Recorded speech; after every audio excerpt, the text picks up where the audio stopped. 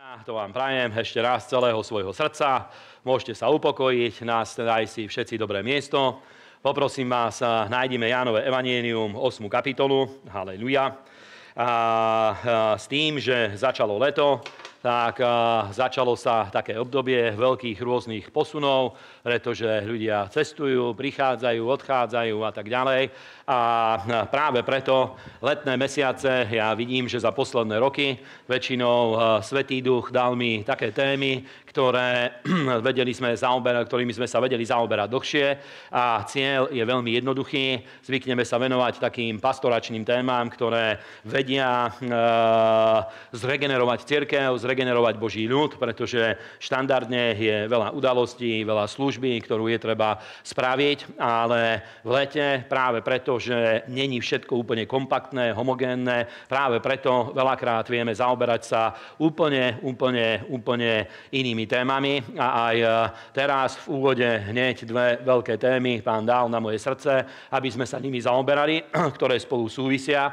Pôvodne som myslel, že stihneme za jedno zhromaždenie prebrať obidve, včera som už hovoril aj e, hore, začal som o tom hovoriť a vidím, že e, sú natoľko obsiahle, že nedajú sa v rámci jednej bohoslužbe obidve prebrať a práve preto e, cítil som, že aj tu budeme sa týmto zaoberať a chcel by som hovoriť o dvoch veľkých oblastiach. Dneska iba prvú stihneme, alebo začneme sa ňou zaoberať a to je vyslobodenie z prítomného zlého veku, je jedna téma a druhá téma, ktorú s tým súvisí, aj keď mierne sa prekrývajú, ale nie je toto isté, je vyslobodenie od sveta. A obidve tieto e, veci sú úplne jeden z najkľúčovejších faktorov k tomu, aby ako kresťania vedeli sme e, celý život žiť pre pána, aby náš život, tvoj život e, vedel byť spojený s Božou prácou, s Božím dielom, so službou pánovi úplne, úplne, úplne až do konca.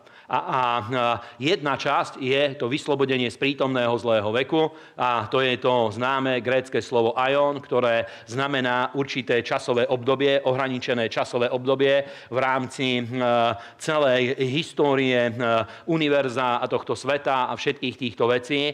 A my žijeme v jednom období, žijeme v tomto veku a je dôležité, aby nad ním mali sme víťazstvo, pretože aj keď žijeme tu na tomto mieste, žijeme tu prítomní v tomto veku, je dôležité, aby sme nežili ako ľudia, ktorí sú podriadení tomu časovému úseku, v ktorom momentálne sa nachádza svet, v ktorom sa nachádza stvorenie, ale vďaka Bohu Ježiš nás tohto vykúpil. A druhá veľká skutočnosť je svet ako taký a v origináli je grécky výraz kozmos, ktorý je taký sociologický výraz a hovorí o usporiadaní sveta ako takého, sveta, v ktorom žijeme. A obidve tieto veličiny, skutočnosti, tak ako ich Biblia pomenováva, nad obidvomi je dôležité, aby mali sme víťazný život, aby sme správne chápali tú silu a moc vykúpenia, ktorá je v Kristovej krvi, aby sme správne chápali moc kriesenia, ktorú Pán Ježiš priniesol, aby nad obidvomi týmito skutočnosťami a veličinami vedeli sme mať víťazstvo.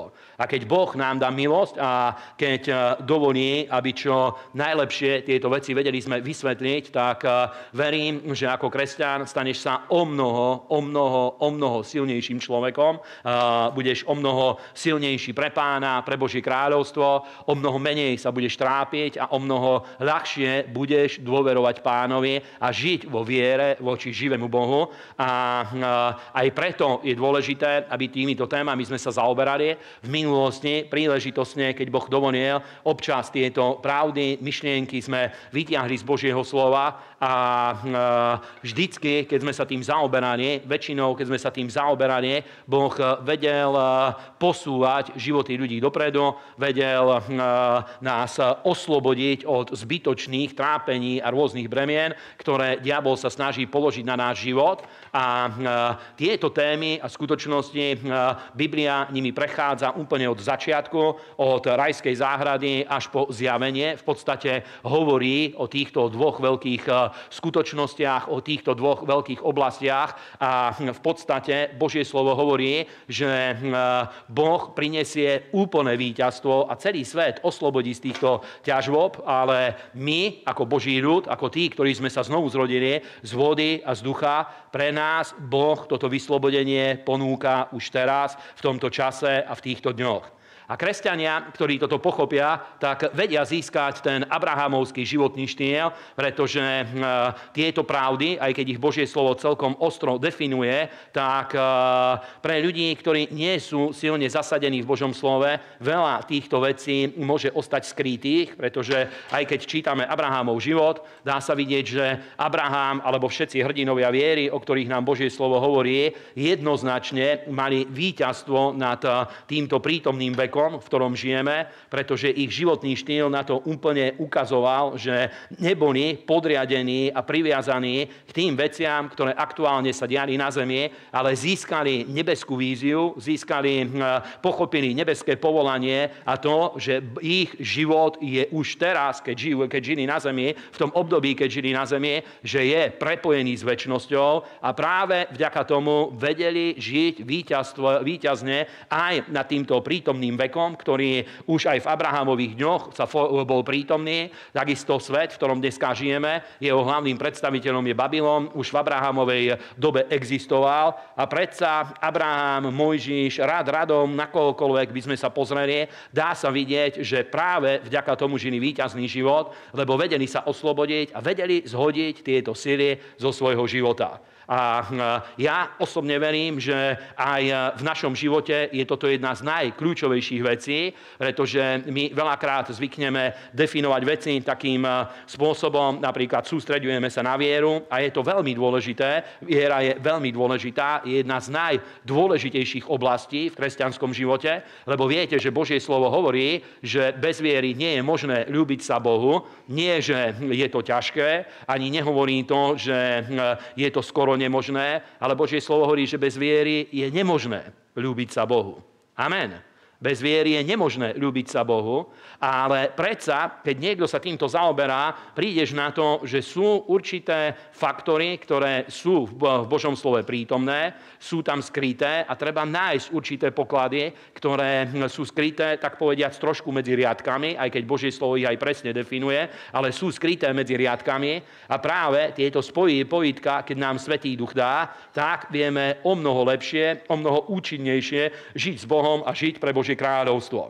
A viete, že toto do veľkej miery vytvára aj rozdiel medzi deťmi a medzi rodičmi, pretože aj deti majú určitý obraz o svete a predsa k tomu, aby ich život bol dobrý, aby bol úspešný, aby vedeli naplniť životné ciele, aby vedeli naplniť životné poslania, aby vedeli naplniť životné povolania a tak ďalej. K tomuto je dôležité, aby tie veci, ktoré nie sú viditeľné na prvý pohľad, aby rodičia ich tomuto vyučovali a vychovávali, aby ich život mohol byť o mnoho lepší. A to je rozdiel medzi deťmi a medzi rodičmi. Dívajú sa svojimi očami na ten istý svet, dívajú sa svojimi očami na tie isté udalosti, ktoré prebiehajú okolo nich, ale každý z toho vyhodnotí, urobí iný vývod, iným spôsobom to vyhodnotí a veľakrát sa ukáže, že rodičia skutočne majú pravdu. Tým nechcem povedať, že sú najmudrejší, ale sú. A väčšinou majú pravdu, pretože, nie, nie vždycky, samozrejme, ale väčšinou majú pravdu, pretože už majú tieto skúsenosti a naučili sa trošku čítať medzi riadkami. Práve vďaka tomu vedia, ako sa vyvarovať určitých chýb, určitých e, falošných obrazov, falošných myšlienok a tak ďalej. A práve vďaka tomu ich život, pokiaľ sú múdri a rozumní, vie byť dobrý a vie byť úspešný. A pre nás, ako pre kresťanov, je to veľmi podobné, pretože aj pri poznaní Boha, pri štúdiu Božieho slova, pri živote v Božom kráľovstve, e, síce všetci hľadáme toho istého Boha, hľadáme, študujeme tú istú Bibliu a tak ďalej, ale predsa sú rozdiely v tom, ako kto chápe určité veci a to robí rozdiel medzi duchovne dospelými ľuďmi a medzi e, deťmi, medzi tínedžermi a tak ďalej v duchovnom zmysle, pretože aj duchovný život vie mať tieto obdobia. Sú ľudia, ktorí keď sa čerstvo znovu zrodia, rodičia, tak sú iba malými deťmi, potom stanú sa deťmi, potom alebo synmi, stanú sa deťmi, potom sa stanú mládencami a potom sa vedia stať aj otcami alebo matkami vo viere a vedia úplne iným spôsobom odovzdať pravdy a odovzdať myšlienky. Takže poprosím vás, aby sme nebrali veľa času, nájdime Jánové Evangelium 8. kapitolu a aj preto cítim, že o týchto veciach je dobré hovoriť, aj keď hodne rokov sme sa tým nezaoberali, možno 10 rokov o tejto téme som veľmi iba okrajovo hovoril, ale my žijeme vo veľmi intenzívnom svete. Svet dneska je veľmi vzrušujúci. Tým nemyslím, že zábava a ďalšie veci, že by boli veľmi vzrušujúce, že by nás veľmi vzrušovali, ale svet je veľmi vzrušujúci. Ja nie som veľmi ponorený v mediálnej kultúre, veľmi sa nezaoberám správami. A moje čítanie správ prebieha tak, že prečítam si nadpisy článkov a veľmi filtrujem to, čo do seba pustím, pretože moje oči a uši nie sú odpadkový kôž. Amen. Amen. Povedz, ani moje. Ani moje. Amen. A určite na svete musia existovať aj smetiari, nech robia svoju prácu, nech zberajú smeti, ale ja cítim to, že moja duša a môj život sú príliš drahé, boli zaplatené Ježišovou krvou, preto nepustím hociakú špinu do svojho života. Amen. Tak, ako keď máš nový dom, nový byt, keď si rozumný, tak eh, nedovolíš, aby napríklad kdokoľvek tam príde, chodil v špinavých topánkach po dome, chodil v špinavých topánkach po byte a tak ďalej, pretože vieš, že aké hodnoty si tam vložil, preto nedovolíš komukoľvek, aby tam išiel a nosil špinu, aby to ničil, devastoval a presne tak aj my musíme mať takúto zdravú sebaúctu voči svojmu životu, že nepustíme do svojho srdca, do svojich myšlienok a do svojho života čokoľvek, pretože boli sme kúpení za drahú cenu. Amen. A prosím ťa, povedz to spolu so mnou, ja tomu verím, že som bol kúpený za drahú cenu. Preto svojim telom, aj svojim duchom žijem na Božiu slávu. Amen. Teda ja veľmi filtrujem informácie, ktoré pustím do svojho života, a, a, ale aj tak, každý deň sú informácie, ktoré sú úplne zaujímavé a už e, tri roky žijeme v jednom období, ktorý úplne od základov snaží sa zmeniť tento svet snaží sa zmeniť eh, veci, ako fungujú, chápanie sveta a tak ďalej. Všetky tieto veci prebieha veľmi, veľmi, veľmi intenzívny boj. A do určitej miery všetci sme zasiahnutí tým syndromom varenej žaby, pretože hm, práve mediálne prostredie, na ktoré ľudia veľmi si zvykli, veľmi naň aj počas korony, veľmi sa na toto nasalie, tak toto vytvára ten syndrom varenej žaby.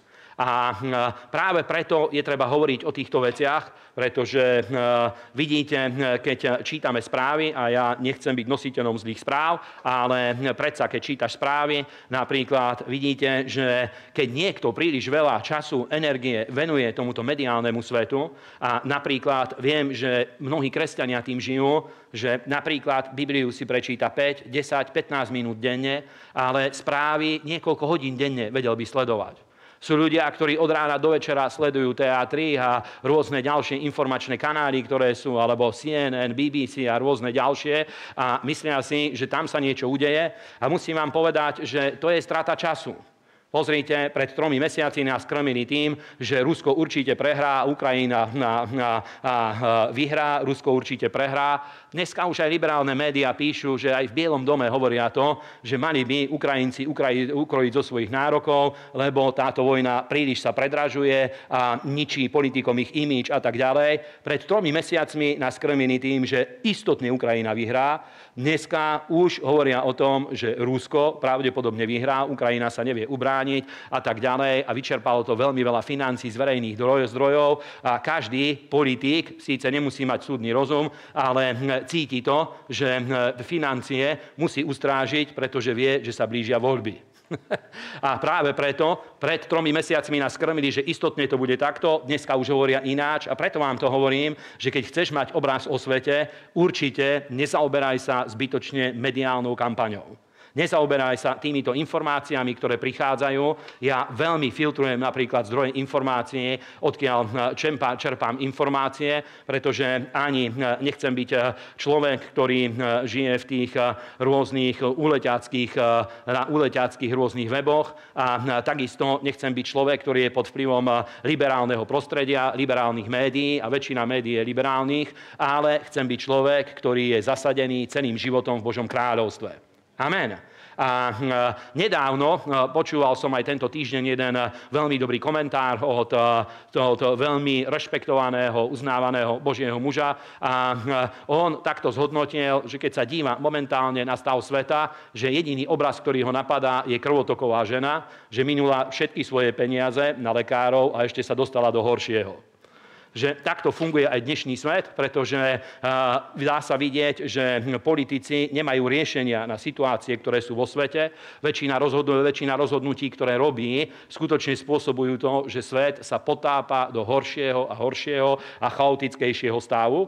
A my, vďaka Bohu, práve preto je treba nasať svoje srdce, e, prisať svoju dušu, svoje srdce, svoju mysel k Božiemu slovu, práve z toho dôvodu, pretože keď sa pozrieš do písma, na svet prešiel prešiel rôznymi katastrofickými udalosťami a keď čítaš od začiatku Biblia až do konca, dá sa vidieť napríklad Noách.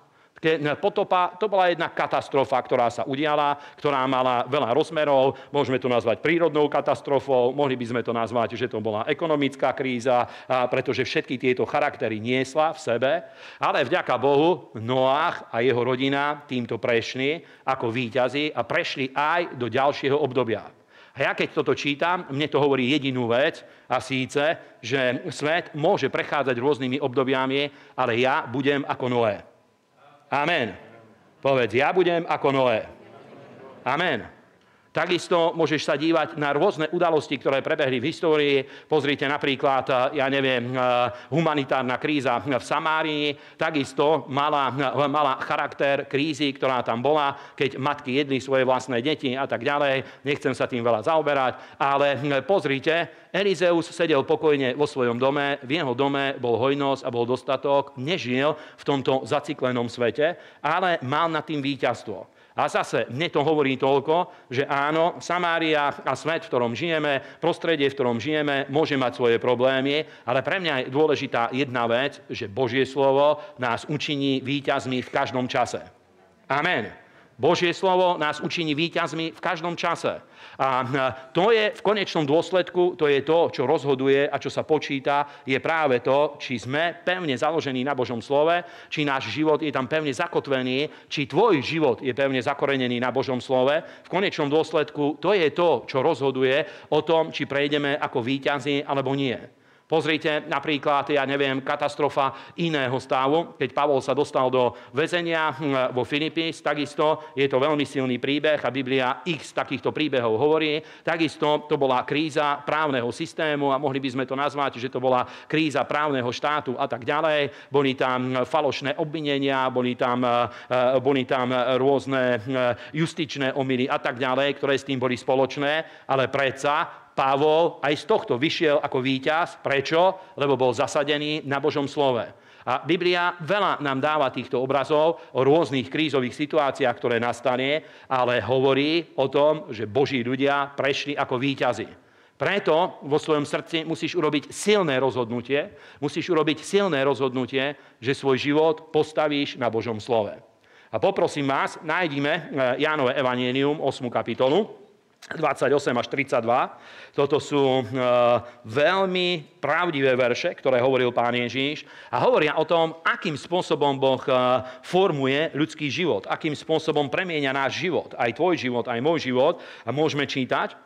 A, a tak im povedal Ježíš, keď povýšite si na človeka, vtedy zviete, že ja som a že sám od seba nerobím ničoho, ale ako ma naučil môj otec, tak a to hovorím. A ten, ktorý ma poslal, je so mnou a nezanechal ma otec samotného, lebo ja vždycky činím to, čo sa jemu ľúbi. A keď to hovoril, mnohí uverili v neho. A vtedy povedal Ježiš Židom, ktorí mu uverili, keď vy zostanete v mojom slove, v pravde ste mojimi učeníkmi a poznáte pravdu a pravda vás vyslobodí. Amen. A tu vidíme jednu, niekoľko dôležitých skutočností, ktoré Ježiš hovoril. Za prvé, k tomu, aby sme boli učeníci Ježiša Krista. Božie slovo hovorí, že jeden z hlavných znakov učeníckého života, čo je cieľ učeníckého života, čo Ježiš povedal, je to, aby sme žili ako On, aby to, čo robíme, aby vypôsobovalo v Bohu záľubu, aby to bolo milé a príjemné pred Božou tvárou.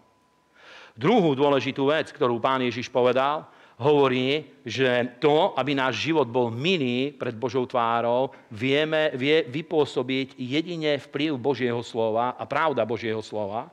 A k tomu, aby sme vedeli naplniť, to, vedeli naplniť toto, toto poslanie učeníckého života osobne, každý jeden z nás, je dôležité, aby sme boli oslobodení na základe moci pravdy. Pretože Ježíš skutočne toto povedal a tento výrok rôznymi spôsobmi ľudia sa už snažili interpretovať a aj občas liberáli toto sa snažili zobrať do svojich úst, čo sa, týkalo, čo sa týka rôznej agendy, ktorú používajú a tiež sa na to odvolávajú, aj keď úplne falošným spôsobom, že poznáte pravdu a pravda vás oslobodí. Ale Ježíš nehovoril o hociakej pravde, nehovoril o pravde, ktorú majú liberáli, konzervatívci, politická agenda, cirkevná agenda alebo kdokoľvek iný hovoril o pravde vychádzajúcej z Božieho slova. Ďalšia dôležitá vec, ktorá o tom hovorí, je, ktorú nám tu hovorí Ježíš, je, že ľudský život nie je menený tým spôsobom, ako, no, ako sa snažia, ako niekedy aj v cirkvi sa to snažia ľudia interpretovať, nie vonkajším vplyvom smerom dnu, ale hovorí, že Boží spôsob, ako sa dá oslobodiť ľudský život a ako je možné ľudský život eh, eh, dostať do stavu, aby život človeka sa menil, je, že Boží spôsob je, že Boh mení naše vnútro a ten život vychádzajúci znútra začne meniť naše okolie a začne meniť tie veci, ktoré sú okolo nás.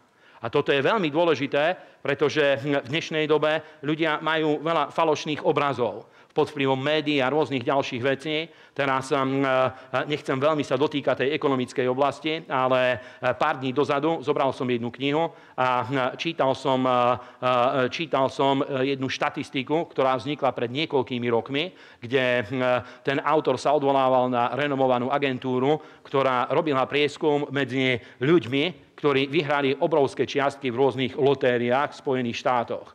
A nemám úplne presnú informáciu už v hlave, neviem, nie, nie, nie úplne presne som si to zapamätal, ale e, okolo 90 až 92% ľudí potom, ako získali tieto obrovské sumy, stali sa viac zadlžení a ich život sa dostal do väčších krachov ako predtým.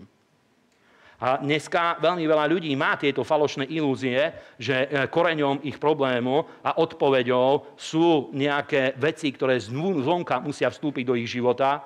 A tie, tie vonkajšie faktory, že ovplyvnia ľudský život a jeho kvalitu, pravda je úplne iná a síce, že odpoveďou na všetko je Boh a Božie kráľovstvo, pretože Boh mení ľudský život znútra, a to je prvá podmienka na to, aby ľudský život udržal kvalitu v akejkoľvek skúške, v akomkoľvek období a aby vedel ešte raz a posúvať sa ďalej. Amen. To je najkľúčovejší faktor, ktorý existuje, pretože nemajme tieto falošné ilúzie. A tu, tento iluzórny svet skutočne existuje pred ľuďmi. Napríklad, ja neviem, e, ľudia, ktorí nie sú frustrovaní z predchádzajúcich vzťahov a veľmi túžia napríklad po manželstve, myslia si, že keby som mal, keby som mal manžela alebo manželku, tak všetky moje problémy by sa vyriešili. Nebuď hlúpy, tvoje problémy by sa iba začali. Rodičia, ktorí nemajú deti, rozmýšľajú, že keby sme mali konečne dieťa, všetky moje problémy by sa skončili.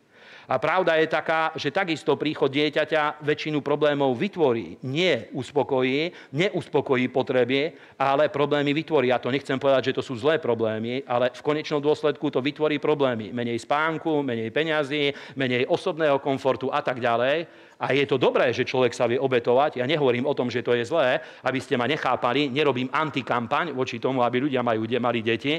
Ja som hrdý, že my už sme skoro ako cigánsky tábor. A bude nás viac. Ale hm, tieto veci problémy neriešia. Problémy rieši zmena ľudského srdca. Zmena stavu ľudského srdca. Preto Ježiš povedal, že vy poznáte pravdu a pravda vás oslobodí. Amen.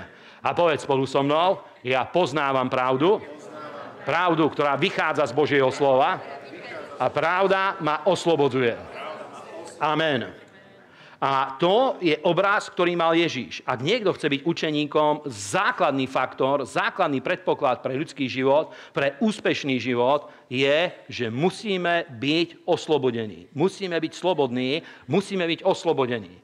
A písmo, vďaka Bohu, v každej oblasti je dôležité, keď niekto cíti, že sú oblasti, v ktorých nie je prítomná sloboda, pretože každý, každý človek, ktorý je tu na, na zemi, pretože to je súčasť toho veku, sveta, v ktorom žijeme, je, že je tu veľmi, veľmi, veľmi veľa potrieb, ale musím vám povedať, že nie vždycky svet fungoval týmto spôsobom. Napríklad v rajskej záhrade, keď žili Adam a Eva v tom veku neviny, ktorý nevieme, ako dlho trval, niektorí hovoria, že mohol trvať iba niekoľko dní, niektorí, že dokonca iba niekoľko hodín, ale mohol rovnako trvať niekoľko rokov, aj stoviek rokov. My nevieme, koľko trvalo obdobie v rajskej záhrade, tým sa Božie slovo do detailu nezaoberá, ale predstav si, že existoval taký vek na zemi, kde ľudia toto neriešili, kde nebola žiadna potreba. Žiadna potreba, iba jedna že chceme viac pána. Ale žiadna potreba neexistovala.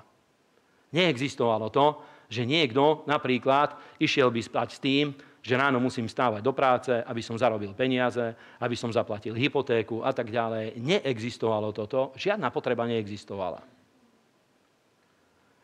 To je pre nás niečo nepredstaviteľné, skoro nepredstaviteľné, ale tí, ktorí majú najbujnejšiu fantáziu, tak o tom snívajú. Ale eh, v každom prípade existovali aj iné veky, a toto je iba jedna časť histórie, o ktorej hovorí Božie slovo, toho, toho obdobia, ktorý ide na veky vekov, pretože keď Božie slovo hovorí o týchto rôznych vekoch, hovorí, že vek to je časovo ohraničené obdobie, a celý ten flow, ako to išlo od stvorenia univerza, ani nie od stvorenia Zeme, pretože už predtým boli stvorené, stvorené nebesia, boli stvorené prvé, celý ten flow Božieho vplyvu má určité obdobia. Niekde začali vznikať obdobia, ktoré mali časové ohraničenia a bolo to veľmi dôležité, pretože Boh má plán, ako svet priniesť do jedného stavu, do jedného momentu, kedy všetko znovu sa navráti pod Božiu vládu a pod jeho autoritu.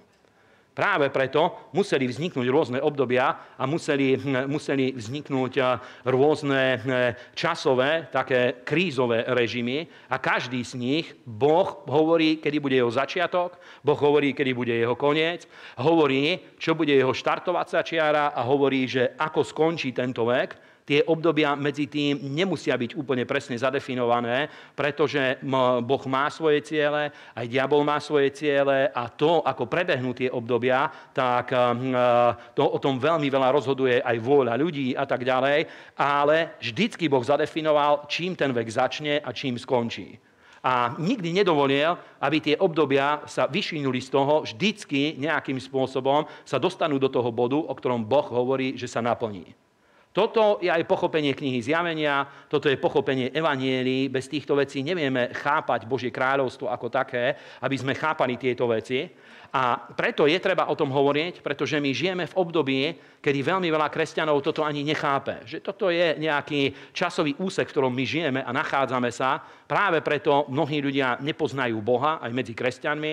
Práve preto mnohí ľudia nevedia vyrásť vo viere, pretože nemajú obrazy o tom. Aj teraz som mal jeden rozhovor s jedným človekom, veľaročný kresťan, a hovorí, že sú niektoré veci, že vie, že Biblia o tom hovorí a tak ďalej, ale vôbec si to nevie ani predstaviť a vypočul kázeň Kýta Múra, kde Kýt hovorí o víziách a o týchto veciach a hovorí, že on, jeho mysel funguje tak, že zbiera dáta analytickým spôsobom, zbiera informácie, ale vôbec veľa vecí si nevie ani predstaviť, že ako by to sa to mohlo naplniť, čo by to mohlo byť.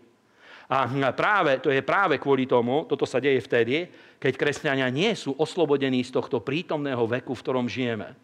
Práve preto veľakrát z toho aby vierou sme od Boha niečo príjmali, veľakrát sa dostaneme do takého stavu, veľakrát dá sa vidieť, že celé zbory sú v tomto pohotené, alebo jednotlivci, rodiny v tomto môžu byť úplne potopené. Veľmi veľa ľudí žije tak, že keď číta Božie slovo, nečíta to ako skutočnosť, ako osobný odkaz od Boha a skutočnosť, ktorú Boh chce naplniť v ich živote, ale čítajú to s takou, s takou nostalgiou a čítajú to s tým, že keby sa to tak skutočne naplnilo. Takýto postoj mnohí majú vo svojom srdci, že keby skutočne to tak Boh urobil. A musím vám povedať, že toto je ale jeden obrovský problém, keď niekto má tento, ten, cez tento filter, keď to číta.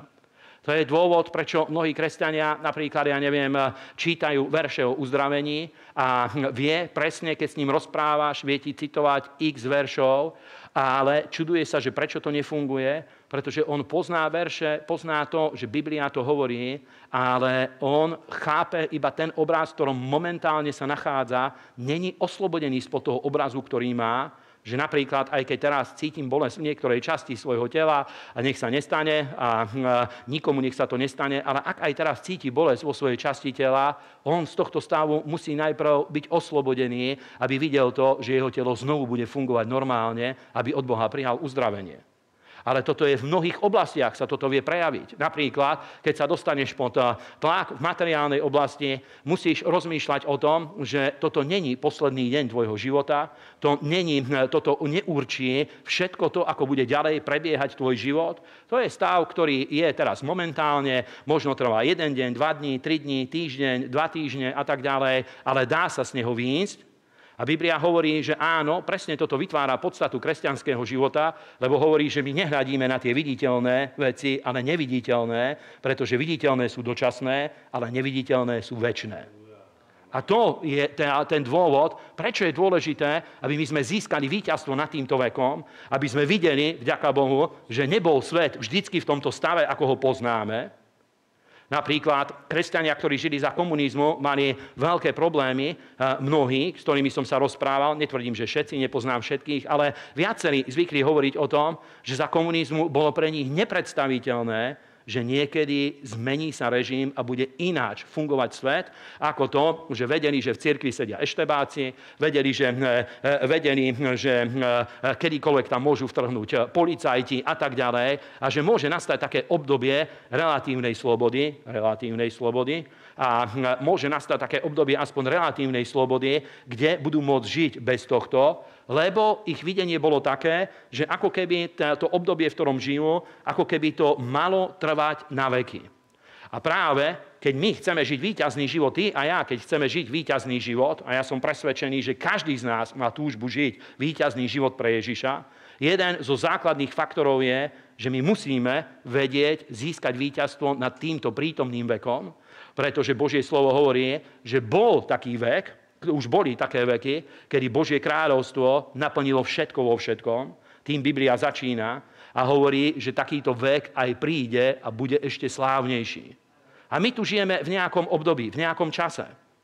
Napríklad veľakrát ľudská psychika takto funguje. Ja neviem, niekto dostane sa do nemocnice, nechcem také zlé príbehy vám dávať pred oči, ale predstav si, že niekto ide do nemocnice, čaká ho operácia a zažil som to veľmi veľakrát, že boli naplnení ľudia úzkosťou, nedívali sa na to, že ich život sa znovu dostane do lepšieho stavu, ale aj keď bol v zlom stave a išiel na operáciu, mnohí sa báli, že to bude ešte horšie, lebo si mysleli, že dobre, teraz ma iba bolelo, ale potom ma ešte rozrežú a ja neviem, čo všetko so mnou urobí a báli sa, že to ani neprežijú, nedívali sa na to, že dobre, týmto prejdem, bude to trvať niekoľko hodín, niekoľko dní, ale dostanem sa do lepšieho stavu, ako som bol predtým.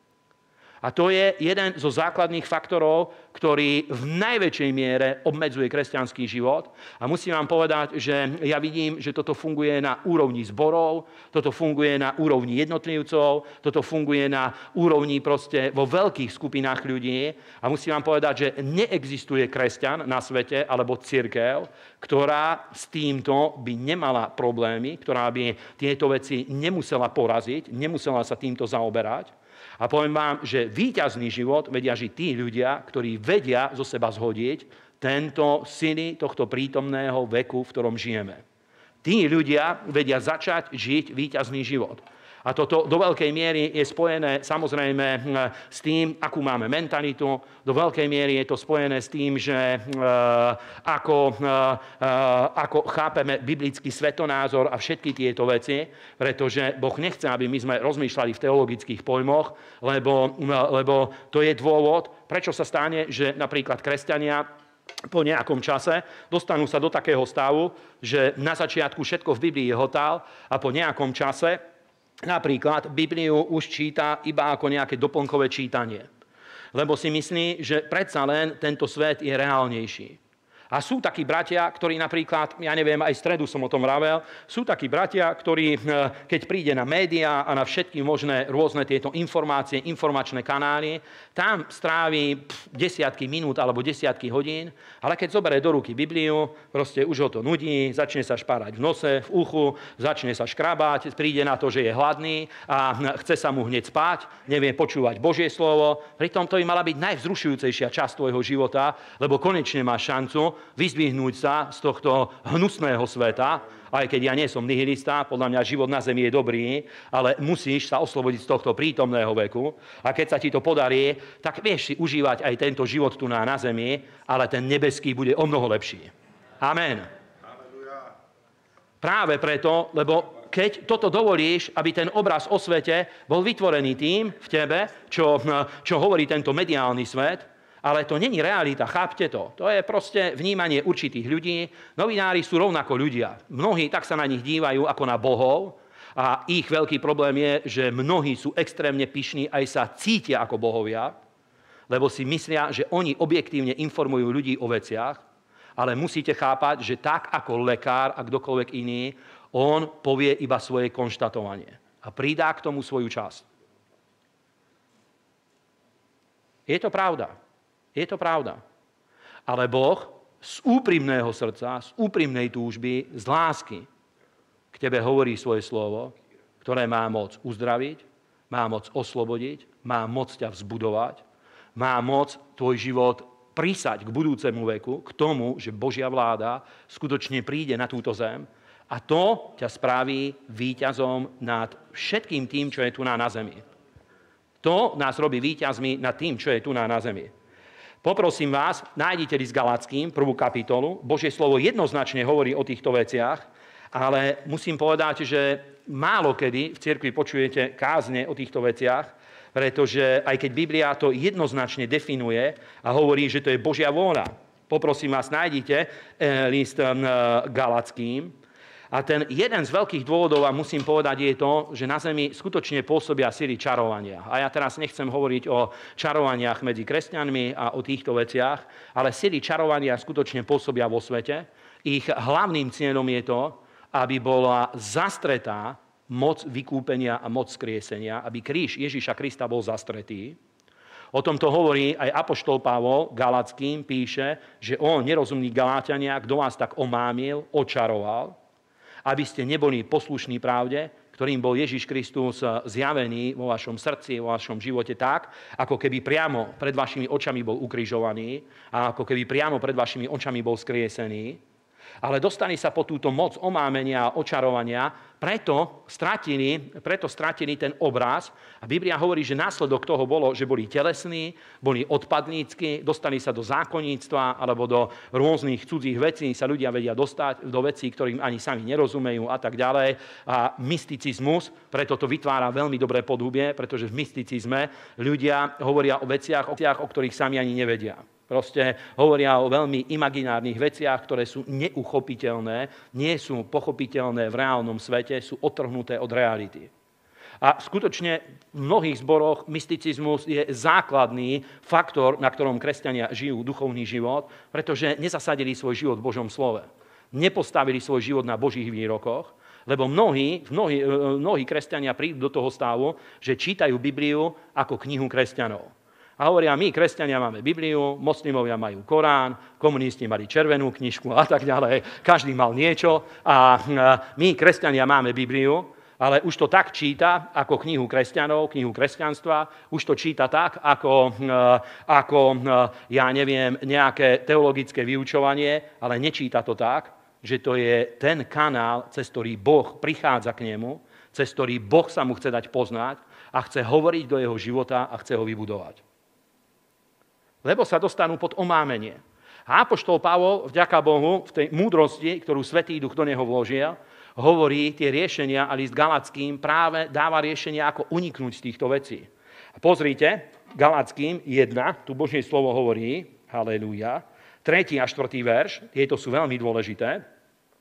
Milosť vám a pokoj od Boha Otca a od nášho pána Ježiša Krista, ktorý dal sám seba za naše hriechy, aby nás vytrhol z prítomného veku zlého podľa vôle Boha a nášho Otca.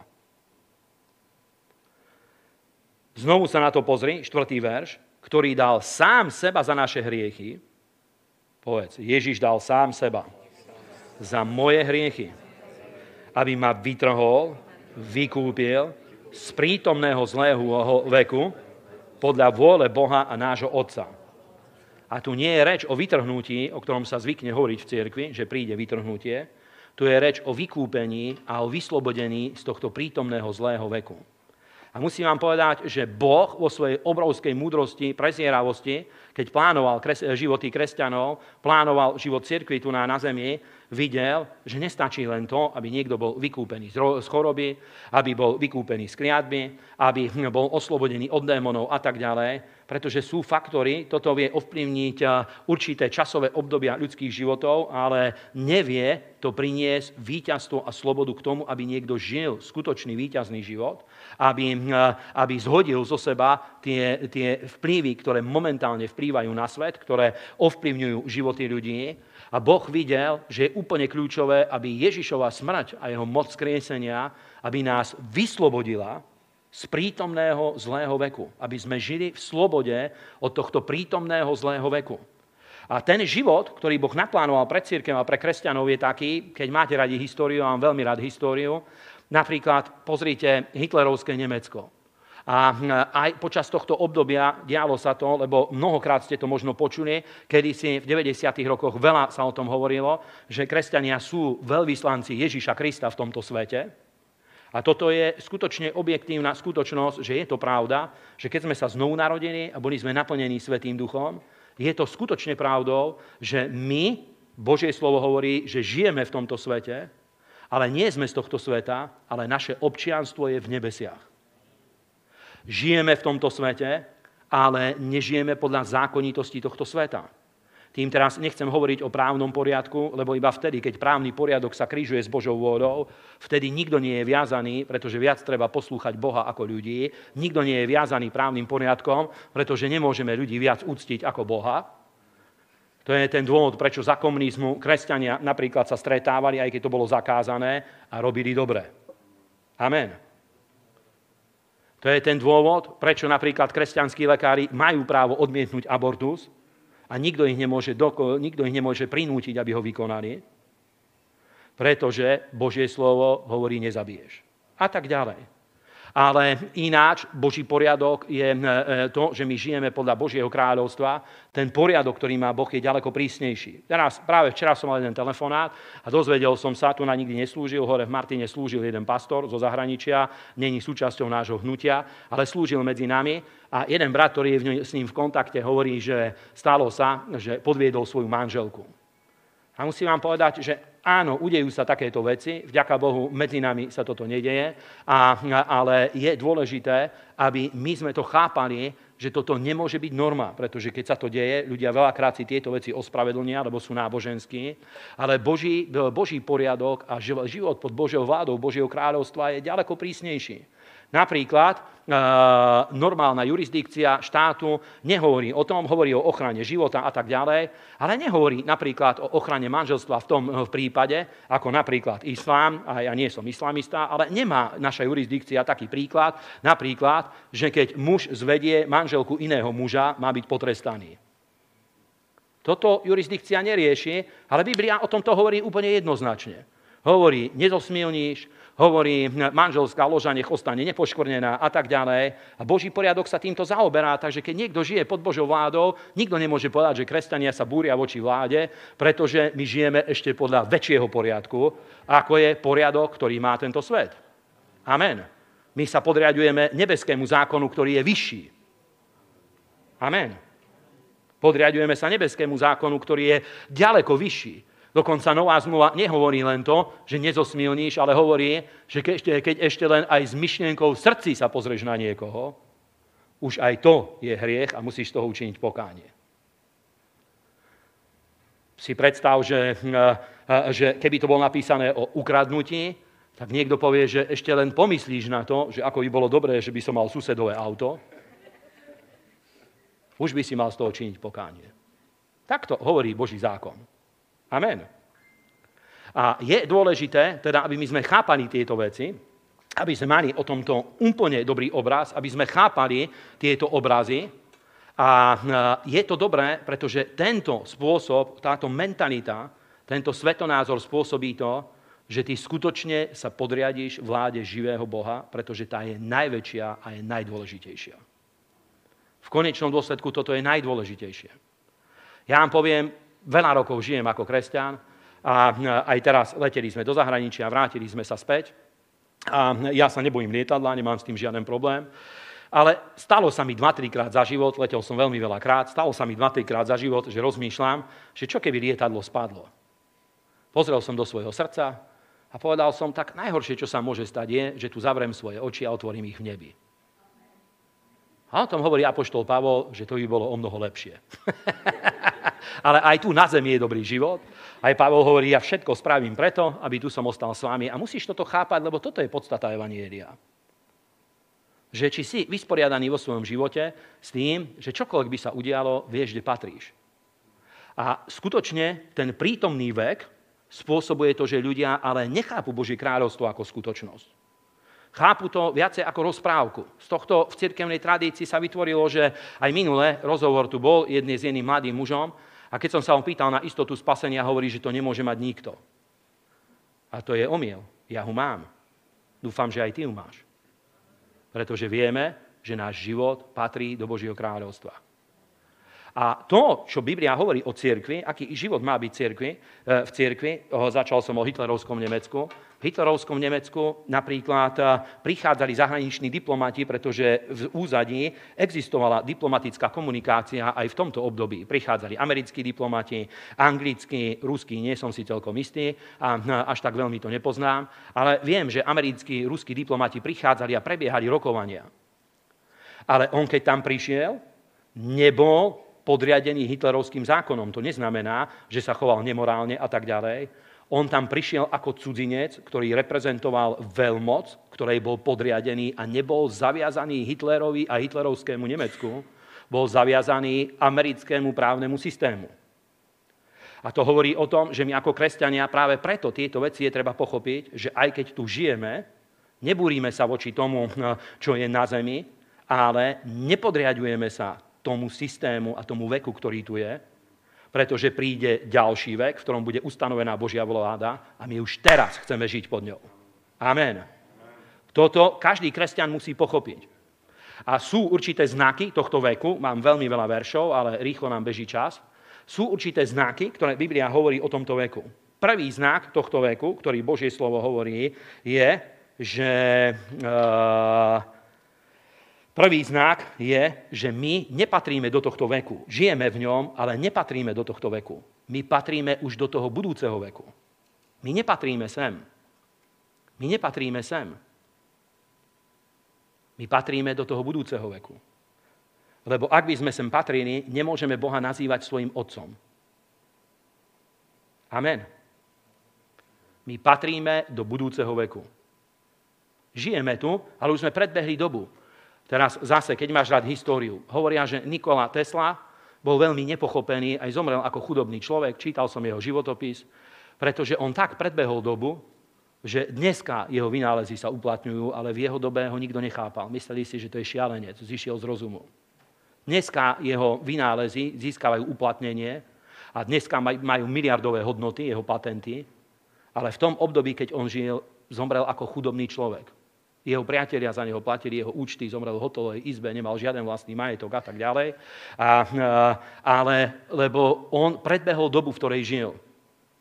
A aby ste to chápali, my skutočne patríme do toho budúceho veku, tu nás žijeme, ale my sme predbehli dobu, pretože my už dneska hovoríme, že tento svet má iného kráľa a tým je Nazarecký Ježíš. Amen. Povedz, môjim kráľom je Ježíš Nazaretu. A nepatrím do tohto veku. Amen. Druhá dôležitá vec, a poviem vám, že pre život viery toto je jeden z najkľúčovejších faktorov. Druhá oblasť, o ktorej hovorí Božie slovo, je, že tento vek má zlého Boha. Nemáme často čítať, ale 2. Korinským 4.4 hovorí, že tí, u, u tých ľudí Boh zaslepil zmysly, Boh tohto sveta zaslepil zmysly, ktorí sa neobrátili, pretože ich duchovné zmysly sú zaslepené, Boh tohto sveta zaslepil ich zmysly. A skutočne tento vek má zlého Boha. My uctievame Boha Abraháma, Izáka a Jakoba, ktorý je kráľom od vekov až na veky. Ale toto obdobie, v ktorom my žijeme, ktoré trvá od, od potopy až do druhého príchodu Ježíša Krista, aj to obdobie predtým už malo túto charakteristiku, aj ten Aion predtým už mal túto charakteristiku, od pádu do hriechu, to je pravdou, že Bohom tohto veku sa stál Satan. Stal sa diabol, je to pravda. On uchvátil túto moc. A v podstate moc nad týmto vekom bola daná Adamovi a Eve.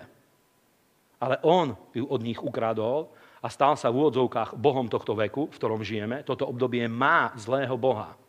A preto je dôležité, aby my sme nežili pod jeho vplyvom, ale aby sme žili pod vplyvom Božieho kráľovstva. Ďalší dôležitý fakt, ktorý sa týka tohto veku, na všetko máme verše, samozrejme, vedení, vieme ich podať. Ďalšie miesto, ktoré hovorí Božie slovo, je, že tento vek sa blíži ku koncu. Nebude tu na veky, ale blíži sa ku koncu. Napríklad Matúš 13, podobenstvo o kúkori. Čo tam hovorí pán Ježiš? Že, eh, že eh, pšenica to sú synovia Boží, hovorí kúkol to sú synovia toho zlého a ženci sú anieli a žatva je vyvrcholenie, ukončenie tohto veku. Roháček prekladá, že koniec sveta. Ale ľudia majú zlú predstavu. Dneska mnohí o tomto hovoria, aj konzervatívne rozmýšľajúci ľudia, aj rôzni vedci už hovoria, že tento svet sa blíži ku veľkej katastrofe, ku koncu, ale majú zlý obraz. Lebo predstavujú si, že tento svet skončí úplne zlé. Ale Biblia hovorí, že ukončí sa iba tento vek, svet bude pokračovať ďalej, pretože Boh má moc obnoviť svet a všetko. Amen. Iba tento vek sa ukončí a majú o tom zlý obraz. Preto aj kresťania, ktorí tieto veci nechápu, boja sa apokalyptických udalostí a tak ďalej. Veď to je jedna z najvzrušujúcejších vecí. Minule na dovolenke, bol som s pár bratmi, na dovolenke sme boli, čítal som tam zjavenie a jeden brat sa ma pýta, že či ma to baví. Strašne. Strašne. Mňa zjavenie strašne baví. Z jedného dôvodu, pretože chápem to, že to je jedna udalosť, ktorá ukončí tento vek. To není koniec sveta. Pretože niektorí tak sa na to dívajú ako na pohreb. Že tam skončí v hrobe, zasypú ho a už po ňom nič není. Takto rozmýšľajú ale bezbožní ľudia. Tí ľudia, ktorí žijú pod mocou tohto veku, takto rozmýšľajú. Ale kniha zjavenia hovorí, práve tam je zjavená Božia sláva, pretože áno, humanisti hovoria, že koľko ľudí zahynie a tak ďalej. Ale dívaj sa na to z Božieho pohľadu, že bude ukončený vplyv hriechu, démoni, choroby, kriadby, diablová moc, všetky tieto veci budú ukončené a nastane obdobie Božej vlády a príde Božia sláva. A keď si človek, ktorý je zasadený v budúcom veku, hovoríš, že áno, Pane Ježišu, prídi, Maranata. Amen. Toto hovoríš vo svojom srdci. Ďalší znak tohto veku, ktorý tiež je treba pochopiť, ďalším znakom tohto veku a tiež to je v podobenstvách, 13. kapitola Matúša, podobenstvo o štyroch druhoch pôdy, a toto je najväčší problém kresťanov, že musíme pochopiť, že kresťania, ktorí žijú pod vplyvom ducha tohto veku, stanú sa duchovne neplodnými. Ja nehovorím, že sú neveriaci a tak ďalej, ale stanú sa duchovne neplodnými, pretože jeden znak, to je jeden zo znakov tohto prítomného veku, je to, že Božie slovo hovorí, že čo udusí v konečnom dôsledku Božie slovo u kresťanov. Starosti tohto sveta, a zvod bohatstva. Starosti a zvod bohatstva. Preto Ježíš tak veľa hovoril. Minule, mal som stre, včera som sa stretol s jedným priateľom. Je znovu zrodený, na môj, z môjho pohľadu kus náboženský, ale keďže neviete, kto to je, tak môžem o tom takto hovoriť. A, a nech mu Boh dá milosť. A, a on zo zahraničia z Talianska vozí potraviny, tak ja od neho nejaké veci kupujem. A doniesol mi a trošku som chcel natiahnuť, lebo zbyhol trošku cenu. Pýtam sa, že už aj ty na bratov zvíhaš ceny. a on mi hovorí, že, hovorí mi, že, no, že ceny tak rastú, že nech nám Boh dá milosť. A ja mu hovorím, že no vidíš, že vždycky si sa na to zle díval, že my veríme v prosperitu a je vidno, že máme pravdu. vďaka Bohu za prosperitu. Amen. Povedz, vďaka Bohu za prosperitu. Amen. Pretože tí ľudia, ktorí neveria v Božie zaopatrenie, my netvrdíme to. Minule mi niekto hovorí, s jedným bratom som mal rozhovor a hovorí, že v meste sú takí kresťania, ktorí hovoria, že to je najväčšie kresťanské zlo, je viera v prosperitu. Že vy hovoríte, že všetci musia byť milionári. Dal by pán. Ale veľmi málo ich poznám zatiaľ medzi kresťanmi. A my nehovoríme, že toto je pravda, ale veríme v Božie zaopatrenie. My veríme v prvom rade tomu, že ver Bohu, že ťa zaopatrí, aby si mohol dávať.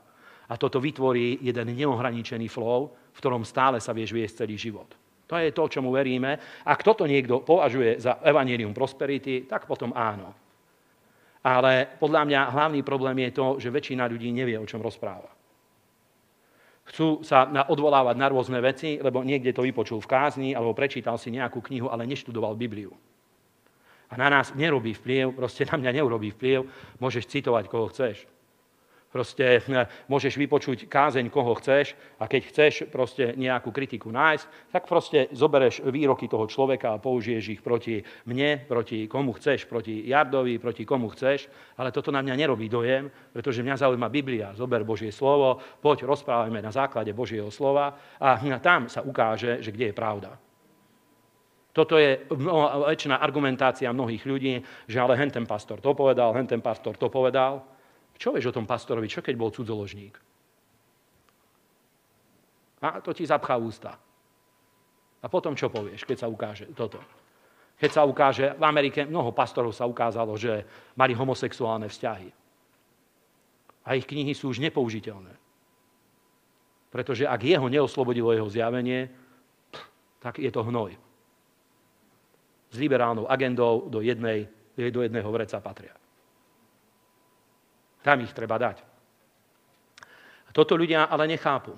A teda, keď chceme byť výťazmi, tento, tento vek má túto charakteristiku starosti a zvod bohatstva. A skutočne medzi kresťanmi aj chudobní ľudia, aj bohatí ľudia sú takí, ešte tí, čo majú materiálne problémy, možno ešte viacej sa nadejajú na to, že všetky problémy riešia peniaze. A musím vám povedať, že problémy rieši Boh. Peniaze sú len prostriedok na dosahovanie cieľov. Tí ľudia, ktorí toto pochopia, nikdy sa nedostanú pod vplyv mamona. A preto, samozrejme, my hovoríme o Božom zaopatrení, veríme v tieto biblické princípy, pretože nám to otvára dvere na to, aby sme mohli reprezentovať evanielium a jeho moc a jeho vplyv. Otvára nám to dvere. Minule jeden človek prišiel, keď sme kázali z rámu, a hovorí, že keby ste mali viac pomazania, nepotrebujete ramy.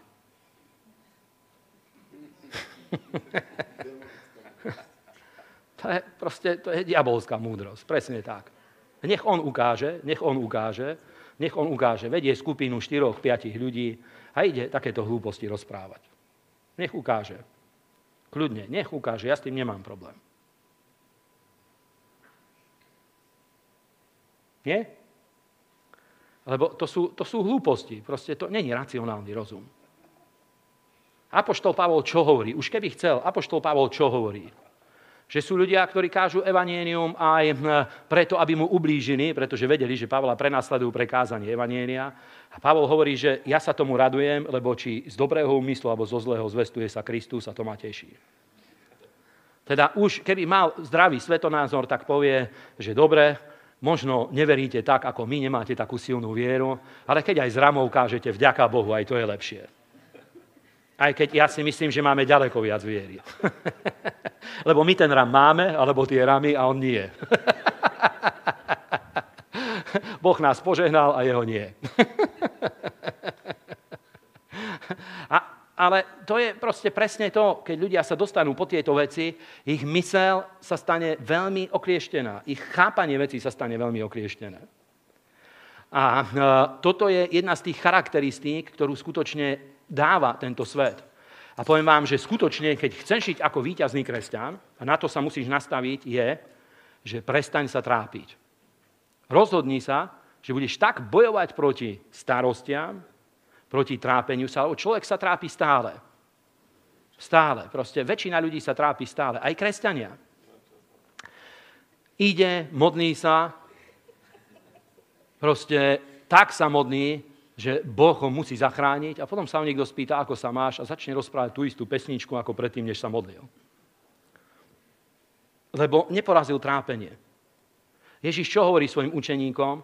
Že je treba poraziť mamon a minule som o tom čítal, trochu som sa tomu venoval, Mamon to bol skutočne starobabylonský boh, ktorého uctievali, ktorý stál za, za finančným tokom a oni ho uctievali. Babylon mal veľmi dobre vyvinutý finančný systém a tak ďalej. Bol to starobabylonský boh. A Ježiš presne o tomto hovorí, že nemôžete slúžiť aj mamonu, aj Bohu. Preto hovoril o viere v zaopatrenie, aby každý toto vedel zo seba zhodiť. A v tomto veku, v ktorom žijeme, musíme pracovať. Musíme pracovať. Aj to je treba povedať, že čím menej, tým lepšie. Lebo prečítaj si, že kedy začal pracovať Adam v pote práce? Po hriechu. Ale toto proste my z tohto neunikneme, musíme pracovať. Túto kriadbu je možné zlomiť, túto kriadbu zlomí až Kristov príchod. Túto kriadbu zlomí aj až Kristov príchod.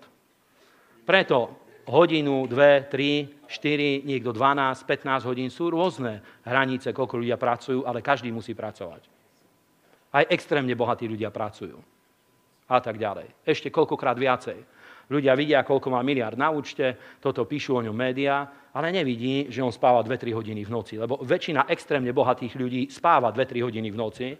Od rána do večera pracujú, zaoberajú sa stratégiami a tak ďalej, ako, ako, ako, zroma, ako rozširovať portfólio a tak ďalej. To sú veľmi náročné veci. Potom, dobre, ide na mesiac na dovolenku, ale potom 12, ďalších 11 mesiacov dre od rána do večera. Potom cez Vianoce ide do Alp na 3 týždne lyžovať a ľudia povedia, že pff, tí boháči sa majú, ale nevidí to, že potom on robí 8 hodín alebo 9 hodín, ide domov, 8 hodín spí a tento človek pracuje 10, 12, 15 hodín denne. Veľmi veľa ľudí je takých. Aj medzi úspešnými bratmi v cirkvi je veľa ľudí, ktorí veľmi veľa pracujú, veľmi veľa musia pracovať. Je to pravda. Ale to nemení to, že musíme vedieť poraziť starosti, pretože to je súčasťou tohto veku. A poviem že diabol je veľmi rafinovaný, pretože tento tlak ide z druhého neba. To je tá, tá prítomná doba tohto veku. Pozrite. Ľudia majú deti, bojí sa, čo s nimi bude, čo z neho vyrastie, ochorie, neochorie. Keď ochorie, dostane sa z toho, skončí niekedy horúčka a tak ďalej. Stále sa človek o niečo bojí, o niečo sa trápi, proste informáciu dostane. Do toho tento informačný svet také bremena dáva na životy ľudí, že minulý jeden brat nám hovorí, že médiá o tom neinformujú, ale že denne ľudia páchajú tu na v Bratislave samovraždy, vyskakujú z okien a tak ďalej. Pretože nevedia uniesť tento tlak. A keby som vám mal povedať pravdu, že určite za to môže diabol, ale koho najviac používa, sú médiá. Koho najviac na toto používa, sú médiá. Ale ja preto o tom hovorím, že tieto sily vieme zhodiť zo seba. Vieme zhodiť zo seba. Minule napríklad mal som pastoráciu s jednými manželmi a hovoria, že majú objednanú nehnuteľnosť, ale, ale ten muž trošku sa cukol, lebo samozrejme muži majú veľakrát väčšiu finančnú zodpovednosť, musia priniesť väčší príjem, nie vždycky to tak musí byť, ale veľakrát to tak je. A on trošku sa zľakol, že či budú schopní to zaplatiť. A ja s nimi hovorím, veď pozri, to je jednoduché riešenie. Keď potrebujete viac peňazí, zarobíte viac peňazí. Nemusíš sa trápiť. Nemusíš sa trápiť. Máme Boha, ktorému patrí všetko zlato a všetko striebro. Prečítaj si Hagea. Máme Boha, ktorému patrí všetok dobytok na tisícich vrchoch, všetky zvieratá, nebesia sú jeho, zem je jeho, všetky zdroje mu patria. A keď sa veľa trápiš, tak moje odporúčanie je, že zaoberaj sa tým, aby si viacej poznal Boha. Nemusíš vedieť každú minútu, aký, aký mal výrok Biden, Nemusíš vedieť každú minútu, čo povedal ktorý minister, čo povedal o tom, o tom, o tom. Radšej chci vedieť, čo k tebe hovorí živý Boh. chci vedieť, čo k tebe hovorí živý Boh. Tieto síly je treba zo seba zhodiť. A diabol je veľmi rafinovaný, pretože uzatvára ľudí do tohto. Ja vám poviem, že Boží služobníci po čím žijú. Napríklad evanielisti, pastori, mnohí ľudia sa týmto trápia. Koľko ľudí je na bohoslužbe, koľko ľudí príde na bohoslužbu. Teraz všetko môže ísť dobre, náhodou raz príde menej, už diabol na neho tlačí, že a vidíš proste, že nejde to dobre, už nikdy nebude viac ľudí a tak ďalej. A ja vám poviem, že najdôležitejšie je, že tieto veci musíš hodiť zo seba, pretože toto je diabol. A musíš sa naučiť prestať trápiť, lebo v každej oblasti, na čo sa pozrieš, niekto je fotbalista, už tri zápasy nestredil gól. A jeho diabol trápi a hovorí, že chlapče, tak ty už gól nestredíš. Proste to je jedno, čímkoľvek sa zaoberáš, každý sa trápi. Každý sa trápi. Každý sa trápi. Proste stále diabol toto dáva na životy ľudí. Stále toto dáva tieto bremená. A mal som jeden rozhovor nedávno, jedna sestra rieši jednu situáciu, ktorá dlhodobo ju trápi. A ja jej hovorím, počúvaj ma. Ty urob jednoduché kroky, aj som jej povedal, aké, samozrejme na nej, či ich spraví alebo nie. A hovorím, správ tieto jednoduché kroky uvidíš, že ty budeš mať o 80% viac energie na to, aby si slúžila Bohu, lebo ona rada slúžila Bohu vždycky. Aj teraz je to v jej srdci, ale určitá situácia ju tak tlačí, že proste stále chodí s vyprazeným jazykom, bruchom sa plazí po zemi ako had a tak ďalej, tak ju to ťaží. A ona hovorí, že ja viem, že to je pravda. Priatelia, toto musíš znenávidieť. Toto robí iba prítomný vek, lebo keď pod týmto žijeme, nevieme veriť Bohu. Pozri o Abrahamovi napríklad, čo je napísané. Abraham žil na mieste, kde sú jedny z najkrajších pláží na svete, Izrael. Od Tel Avivu až hore, po, po, kde bola križiacká pevnosť, ako sa to volá, chytro. Ako, po ako. Celé územie také pláže, že v Miami nemajú toľko kilometrov pláží. Keby chcel, kedykoľvek si tam mohol postaviť palác. Toľko mal peňazí. Kedykoľvek by to urobil.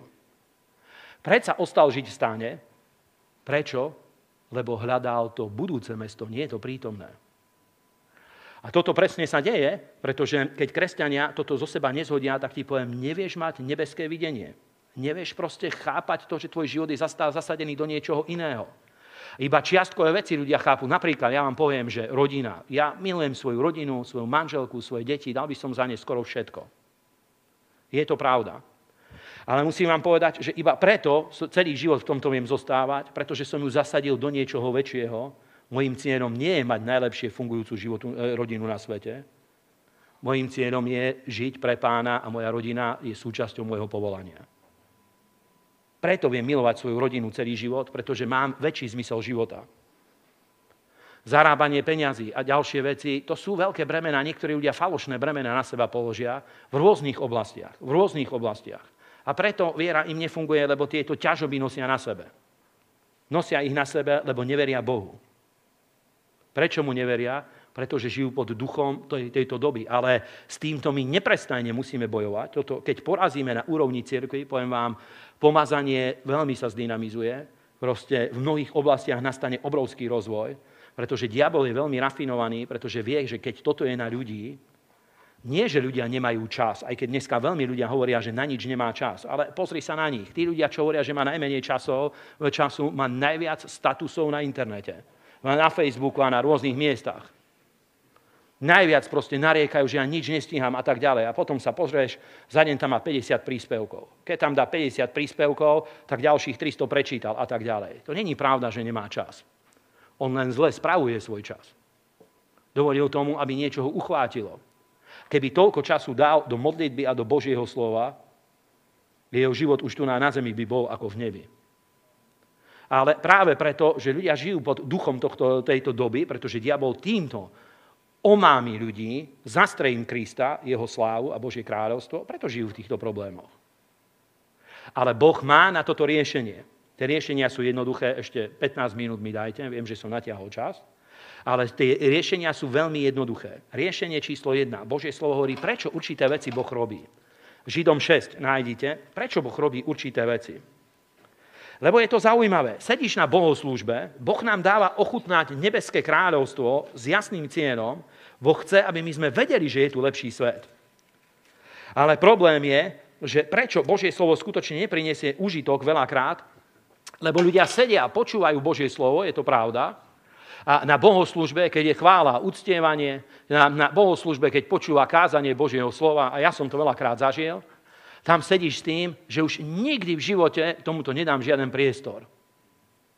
Už nikdy v živote nebudem šomrať, nikdy v živote nebudem mrmlať ako medveď a tak ďalej, nebudem sa takto správať. Už budem pána iba chváliť, budem ho vyvyšovať, budem hovoriť také prehlásenia, ktoré vytvoria realitu viery a tak ďalej. Tak tu sedí s týmto rozhodnutím, ide odtiaľto z bohoslúžby. Dúfam, že z väčšiny bohoslúžieb. S takýmto rozhodnutím. Ale zíde dolu, tam už 30% z neho odíde. Vyjde pred dvere, tam ďalších 30% odíde a vyjde tu za bránu R1 a niekto sa ho niečo spýta a začne mrmlať presne ako medveď a potom hovorí, ten pastor, tomu sa to hovorí, on nemá také problémy ako ja a tak ďalej. A musím ti povedať, že tie isté problémy, ktoré máš ty, mám aj ja. Nie presne, vďaka Bohu, ale ten istý tlak, to isté trápenie, tie isté veci, lebo každý má svoju špecifickú situáciu, tie isté boje má každý človek. Každý jeden človek. Neexistujú ľudia, ktorí sú z tohto vynechaní. Teraz napríklad o Kolendovi, ja poznám ľudí z jeho týmu, hovoria, že prešiel veľmi ťažkým obdobím, takým, ktorého skoro vyplynulo zo služby a ešte mnohí ani nevedia, že čo sa s ním vôbec stane. Najväčší evangelista na svete. Momentálne. Alebo medzi top evangelistami. Neviem, či najväčší, to sa ťažko pomeriava. Takými osobnými problémami prešiel. Lebo z tohto nikto není vynechaný, priatelia. Nikto. Nikto. Ja, ty, nikto. Ale Boh má tieto riešenia. Pozri Židom 6, čo hovorí, že pán toto s nami robí, s tebou, so mnou, s každým jedným človekom. Haleluja. 6 od 4. verša. Lebo je nemožné tých, ktorí už raz boli osvietení. Teda Boh nám dáva zjavenie. Povedz, Boh mi dáva zjavenie. Potom hovorí, že čo nám dáva ochutnali sme nebeský dár. Čo to je? To je istota spasenia. To je nebeský dár. Istota spasenia, znovu zrodenie. Istota spasenia, to je nebeský dár. Stali sa účastnými Svetého Ducha. Pozrite, koľkokrát sa tu vyrialo pomazanie na zhromaždeniach. Koľkokrát sa Boh dotkol ľudí a tak ďalej. Pretože toto Boh robí, že nás urobil účastníkmi Svetého Ducha. Ja niekedy, pretože musím riešiť ťažké administratívne veci, občas proste musím dotiahnuť jedna vec, ktorá na mne je, ohľadne budovy a tak ďalej, musím to dotiahnuť, potom tu budeme stavať budovu. A niektoré veci proste sú veľmi komplikované, pretože žijeme vo veľmi neprehľadnom systéme a tak ďalej. A ja mám rôzne bremená. A sú také dni, kedy od rána nechcem, nemám to rád, keď sa zobudím a hneď musím riešiť rôzne situácie. Nemám to rád. Ja mám rád, keď sa zobudím, môžem, môžem chváliť pána, môžem si prečítať jeden, dva listy z Biblie, môžem si prečítať 5, 10 kapitol, 15 a idem sa modliť, uctievam pána. To je to, čo mám rád. To je to, čo by som chcel robiť. Ale niekedy sú situácie a vidím, že ráno som sa zobudil, ledva som sa osprchoval, naraňajkoval a pozriem sa na hodiny, je 5 hodín po obede, lebo stále určité veci, do toho mi pár ľudí zavolá, musím to s nimi vyriešiť a potom proste takto sa to nahrnie a potom sa mi už nič nechce. Ale poviem vám, že my sme sa stali účastnými Svetého Ducha, máme fantastický dar. Potom prídem a začnem sa modliť v jazykoch a cítim, že znútra začnem sa naplňať, naplňam sa, naplňam sa, naplňam sa, naplňam sa, naplňam sa. A už keď som tak plný, že to príde po ústa, viem zase zdvihnúť ruky k pánovi s čistým srdcom a chváliť ho a vyvyšovať. Pretože my sme sa stali účastníkmi Svetého Ducha. Zdvihni svoje ruky povedz vďaka Bohu. Ja som účastníkom Svetého Ducha. Amen. Toto je obrovské požehnanie a Boh nám toto dáva.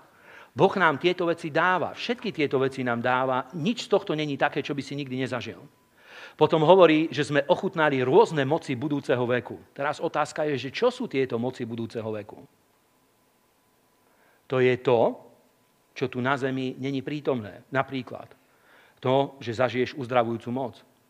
To, že zažiješ oslobodenie od kliatby. To, že Boh ťa oslobodí od strachu a od rôznych vecí, vyjdu z teba démoni a tak ďalej. Tieto veci, to sú moci budúceho veku, pretože v budúcom veku nie sú prítomné. A ja vám poviem, preto ten, kto chce žiť z viery, musí poraziť tento prítomný vek, aby na tebe nesedeli, pretože to vytvára, to zatemnenie mysle a zatvrdenie srdca vytvára práve tento prítomný vek. Pretože nad ním stojí diabol. A poviem vám, je to paradox, ale tú ťažobu, ktorú ľudia cítia na sebe, toto je výsledok toho tlaku, ktorý ide z druhého neba. Padlí anieli, démoni, satán, tieto sily dávajú na ľudí. A poviem vám, že preto, keď si sa znovu zrodil a Boh ti odpustil hriechy, cítil si sa, že si mal pocit, že teraz, keď takto vyskočím do vzduchu, bude to ako keď vidíš tu e, tých, e, tých astronautov na mesiaci, že on urobil a letel 5 metrov. Máš, mal si pocit, že presne takto to bude, pretože tie moci nebeského veku prišli na teba, tá nebeská sila prišla na teba a cítil si, že naraz tento tlak nevie prísť na tvoj život. Lenže počase sa presne toto stane, že diabol je veľmi rafinovaný, pretože keď si novo obrátený, napríklad, teraz minulý týždeň boli obrovské tropické horúčavy. A keď by niekto z Konga prišiel, keď boli tieto horúčavy, tak si povie, že pf, prešiel som 5000 kilometrov, ale tuto je ako u nás. Ale keby prišiel v januári, keď je minus 15, tak úplne ináč by to cítil. Ku nám do zboru chodí jedna africká rodina, hore do Martina. Oni, keď sem prišli, oni nechápali. Pretože viete, že tam, keď sa ochladí na 17 stupňov, oni už nosia paperové bundy, dajú si eh, pletené čiapky na hlavu a tak ďalej. A, a eh, hovoria, že aká krutá zima prišla. Lebo žije v inom prostredí. A predstav si, že presne toto sa s nami stalo pri znovu zrodení, že naraz sa nás dotklo nebo, dotklo sa to nebeské kráľovstvo a tieto sily opadli z teba. Ale počase, práve preto, že keď ľudia nezhodia tento, tieto sily toho prítomného veku zo seba, stane sa, že počase presne toto sa stane. Napríklad, on keď počuje znovu zrodenie, myslí si, že to je také synonymum, že keď som neveril v pána Ježiša, tak som bol pohán a keď som v neho uveril, tak som znovu zrodený. Takto mnohí počase to chápu, lebo sa s nich stráti ostré videnie. A ja musím povedať, priatelia, že pravda je to, že ty si skutočné nové stvorenie. Nie len ako, že to je synonymum, že už nie som pohan, ale som kresťan, tak o sebe hovorím, že som znovu zrodený. Keď si sa znovu zrodil, si skutočne nové stvorenie, staré veci pominuli a všetko je nové a to všetko je z Boha. A ten život z Boha, tento si nárokujeme vierou a príjmame ho vierou na svoj život. To není, že akože. Lenže počase už toto človek necíti, už toto nevníma, pretože už si zvykol aj na to prostredie života v Svetom duchu.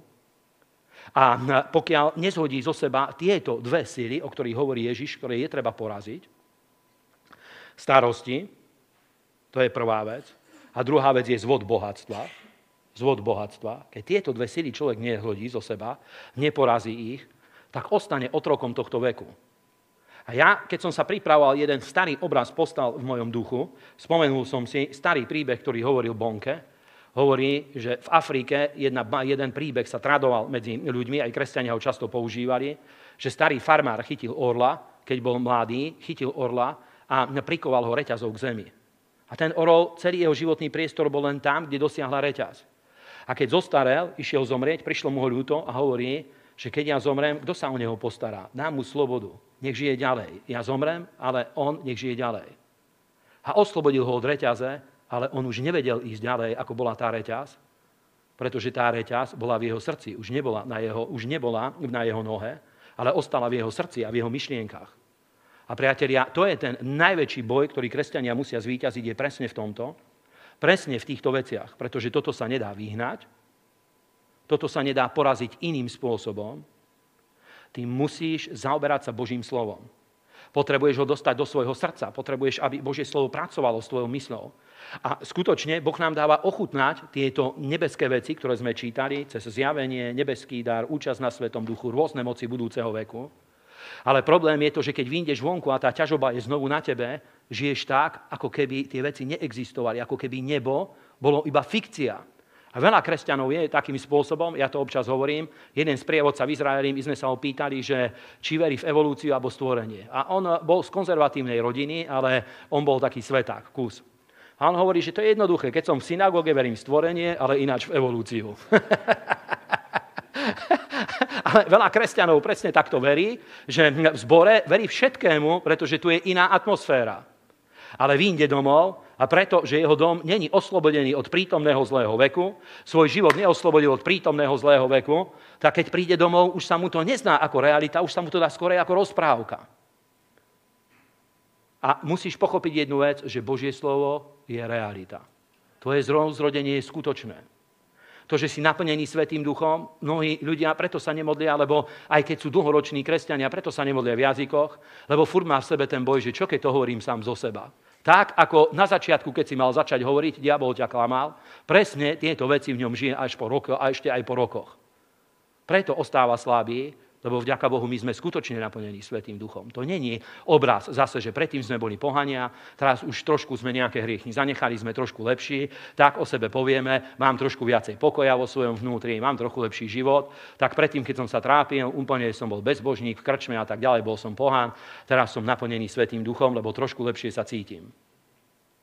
Presne, ak takto to chápeš, to je ten problém, pretože si neporazil tento prítomný vek, pretože tá temnota a to zastretie ostalo na tebe. A Božie slovo hovorí, že čo s týmto urobiť, čo s týmto urobiť. Boh nám dáva tieto veci ochutnať. Áno, je to pravda. Je to pravda, že nám dáva tieto veci ochutnať. A je pravda, že niektorí ľudia potrebujú dlhší čas a toto je objektívna vec. Prečítaj si Bibliu napríklad. Pán Ježiš prišiel do Samárie, Jan 4, Samaritánka sa obrátila, potom na jej svedectvo sa obrátilo celé mesto, potom prišli k Ježišovi a hovoria, my už neveríme, pretože ty si nám povedala, ale sami sme videli, že toto je Kristus, syn živého Boha. Ale žiadna služba tam nevznikla ani nič. Ale potom, keď tam prišiel Filip, Ľudia sa znovu obrátili, znovu sa ich Boh dotkol a potom už tam začala aj církev, aj všetko. A to bol samotný Pán Ježiš Kristus. A to je pravda.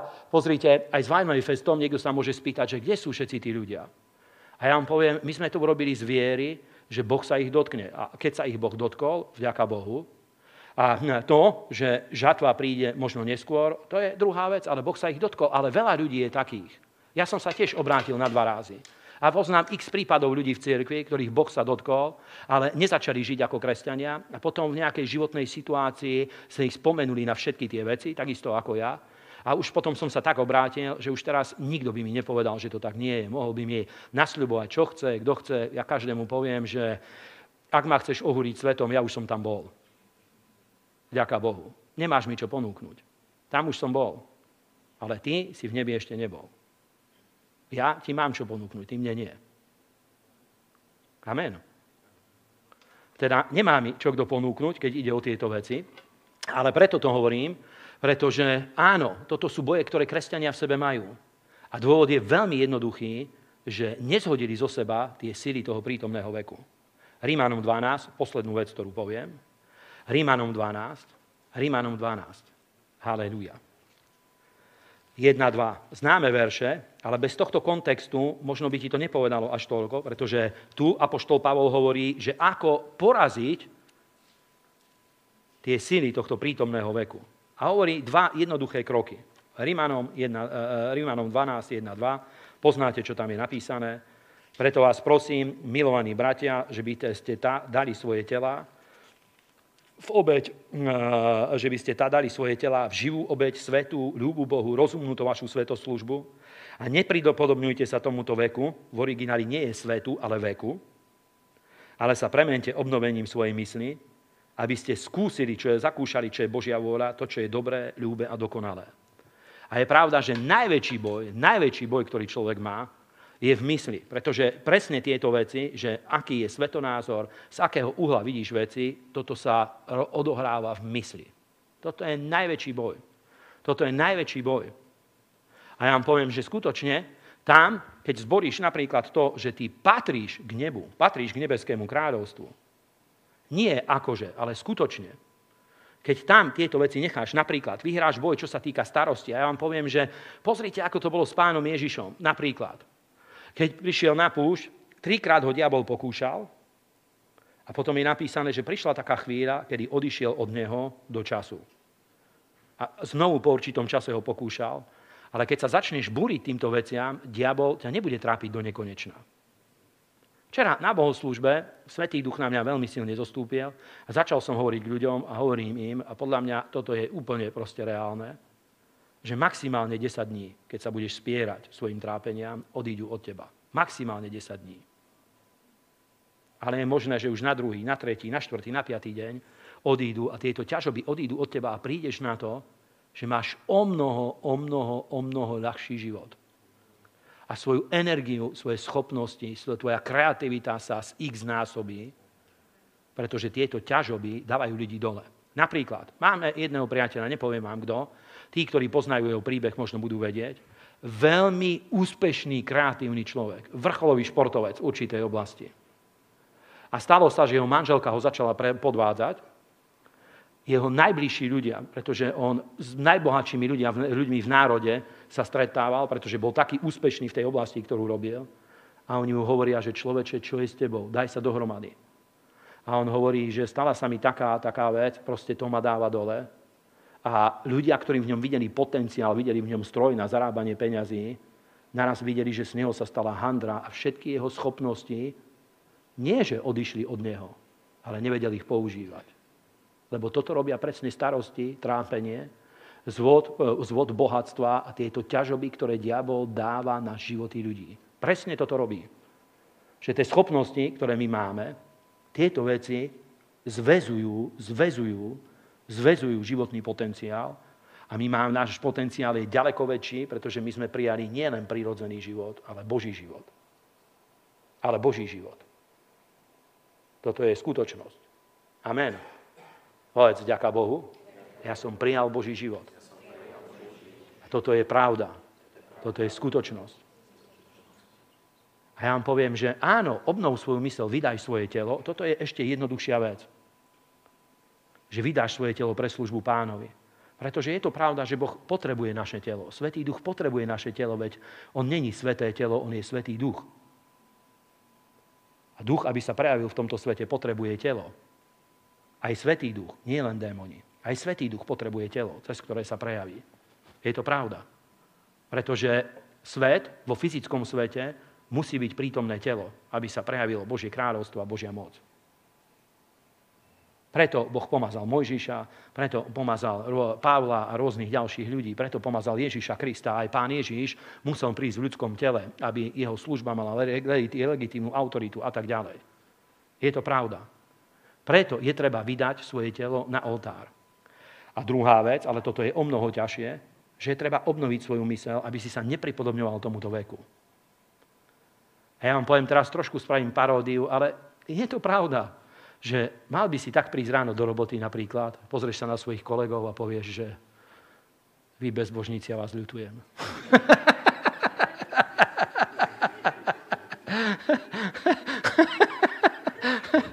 Vy neveriaci psi, neviete, o čo ste prišli.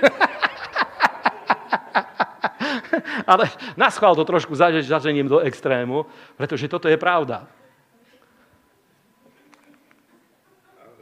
Pretože vierou sa Abraham stal dedičom sveta. A my sme zdedili túto Abrahamovú vieru.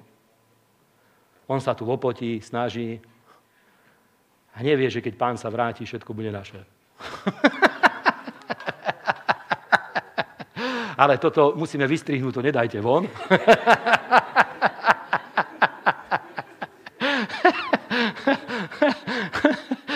ale je to pravda.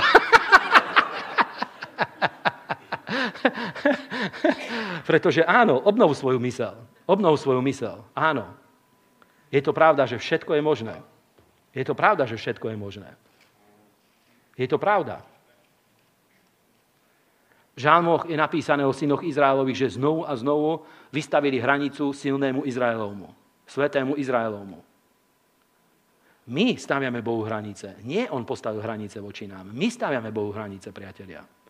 Táto neobnovená mysel toto spôsobuje, že hm, máme toľko problémov, ktoré máme, pretože väčšina vecí v kresťanských životoch by aj nemali byť prítomné. A toto sa nedá vyhnať.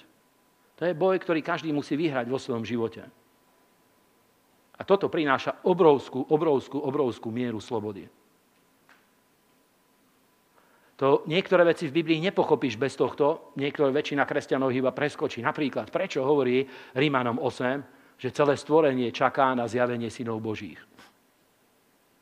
Áno, je to pravda, že stvorenie je pripravené odovzdať svoju energiu, svoje požehnania a svoje všetky veci, ktoré majú. To je hlúposť, čo hovoria liberáli, že zem vzdychá a zomiera. Lebo našu matku sme opustili a trápime ju a ona preto tak sa teraz k nám správa, ako ku neposlušným deťom a tak ďalej. To sú hlúposti. Malým deťom, keby toto rozprávali, ale dospelým ľuďom toto idú rozprávať. Malým deťom sa rozprávajú takéto hlúposti. Nebudeš dobrý, príde Bobo a tak ďalej. Urobí mňam, mňam a zožere ťa na večeru.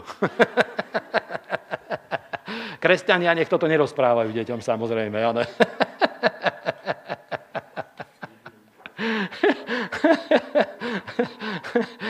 ale presne týmto istým spôsobom racionálnym ľudí chcú presviečať.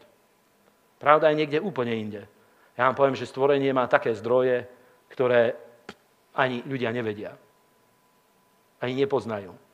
A predstav si, že stvorenie je pripravené, tieto zdroje sú pripravené pre Božie deti. Sú pripravené pre Božie deti tieto zdroje.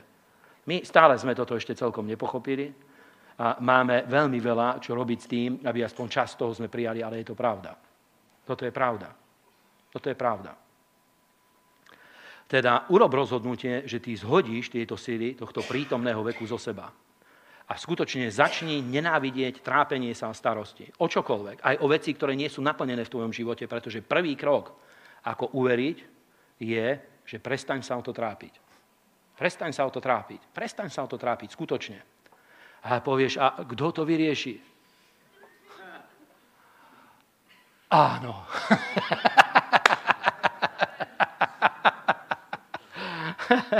Ty určite nie. Ako sa na teba dívam? Nie, že by som o tebe pochyboval, ale neurobíš to.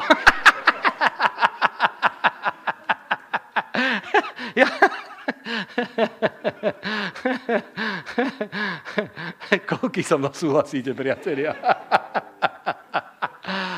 Máme veľkého Boha. Toto sú tie veci, ktoré nám bránia, aby sme ho videli. Pretože viete, čo povedal Ježiš, že Božie kráľovstvo najprv musíš vidieť, potom do neho chceš vstúpiť. O znovuzrodení čo povedal? Ak sa niekto nenarodí z vody a z ducha, nemôže vidieť kráľovstvo Božie. A potom druhýkrát hovorí, že ak sa nenarodí z neho znova, nemôže do neho vojsť. Božie kráľovstvo najprv musíš vidieť, potom do neho vieš vstúpiť. Musíš, môžeš mať zjavenie o, Božen, o, o Božom kráľovstve, potom do neho vieš vstúpiť. Teda toto sú veci, ktoré vám poviem, že toto je ako taká pokrievka na hrnci, ktorú je treba dať dole. Aby Svetý Duch sa mohol slobodne hýbať, aby Božie kráľovstvo mohlo prichádzať a dotýkať sa intenzívnejšie životov ľudí. Je to pravda. Tento, toto je najväčší boj, ktorý je vo svete. Toto je najväčší, najintenzívnejší boj. Najväčší, najintenzívnejší boj je presne v tejto oblasti. Amen. Preto ja vám odporúčam, rozmýšľaj o týchto veciach. Rozmýšľaj o tom, že napríklad vo svojej rodine nepovieš ani jedno slovo spojené s trápením. Ani jedno slovo spojené s trápením. Ja vám poviem, nikdy som si nemyslel, že toto spravím, ale dneska v týchto dňoch už proste som na to nastavený, že idem odpojiť televízor. A poviem vám prečo, aj tak ho nepozerám, jedna vec. A druhá vec je, aj keď si ho zapnem v kuse, tam je reklama. To ma nezaujímajú. A pýta sa, na čo sa pozeráš? ja si večer sadnem na terasu, zoberiem si domáce šampanské, teda rozumej, soda stream s citrónom a s ľadom, dám si to do pohára na šampanské a čumím na hviezdy. Niekedy tam zaspím, celá rodina ide spať a dívam sa na to. A keď už aj tam mi vyskočí reklama, tak sa odsťahujem do Ameriky.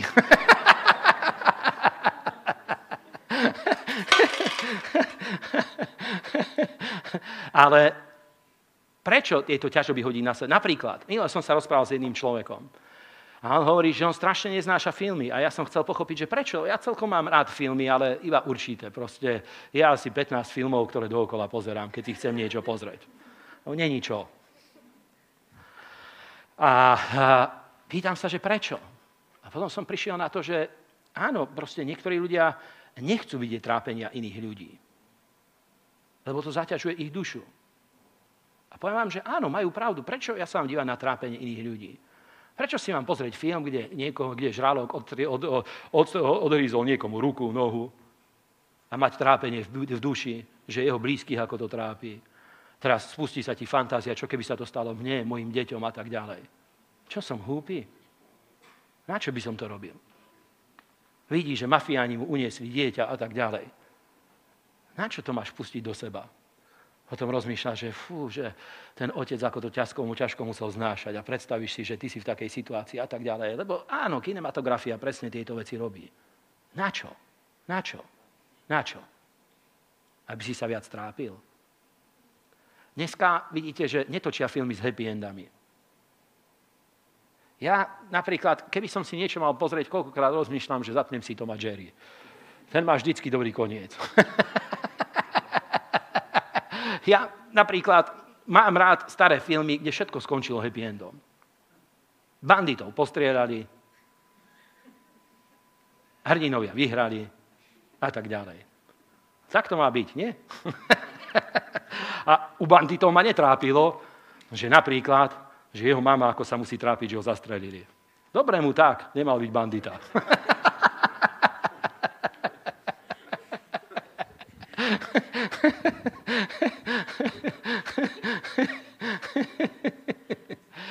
Zhoď tieto sily zo seba. Zhoď to zo seba. Nenechaj to na sebe sedieť za žiadnu cenu.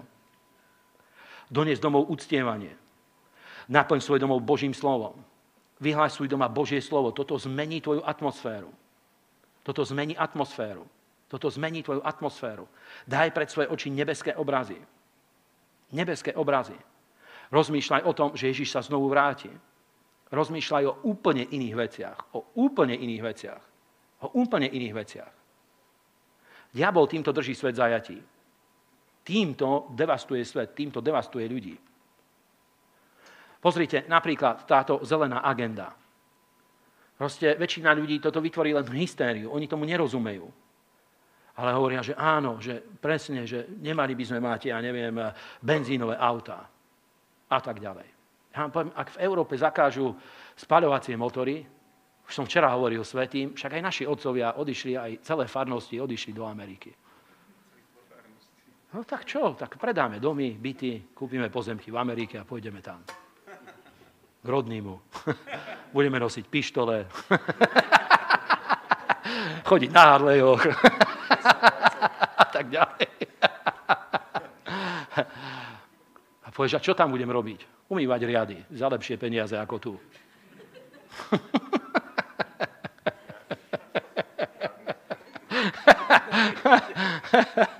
Nech sa nestane.